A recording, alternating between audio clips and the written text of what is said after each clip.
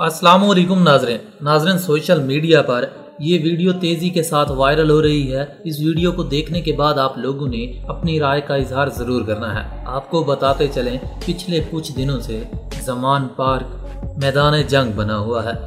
पाकिस्तान की हुकूमत इमरान खान को गिरफ़्तार करना चाहती है और इमरान खान के फैंस इमरान खान की गिरफ्तारी देने के लिए कभी भी राज़ी नहीं है। इमरान खान का कहना है, अगर इस हुकूमत ने मुझे गिरफ़्तार कर लिया तो ये मुझे कत्ल कर देंगे। नाजरन, इस वीडियो को देखने के बाद आप लोगों ने अपनी राय का इजहार ज़रूर करना है।